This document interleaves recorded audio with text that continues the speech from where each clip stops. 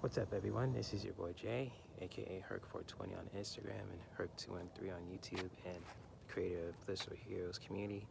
And I'm just want to make a quick video for you guys too. And just as you guys can see, I'm with my little furry brother Ricky, just walking around in my neighborhood and all that. And just like I always want to say Happy New Year to all you guys who are watching this video. And just like you know, with this uh, new year comes with new stuff coming, so let's just like I just want to encourage everyone to just really leave the stuff that doesn't serve you behind and let's go to 2022 with more you know clarity for all of our lives too especially in our self-care practices and routine. So you know with that being said you know if anyone wants to just you know book a full reading from me or just you know do a super heroic flow class it's really all about restorative vinyasa and yoga nidra You even just want to get some essential oils too you know, feel free to hit your boy up, especially on the Blissful Heroes community platforms and especially on my personal platforms. And I'll definitely make sure to make your new year really clear,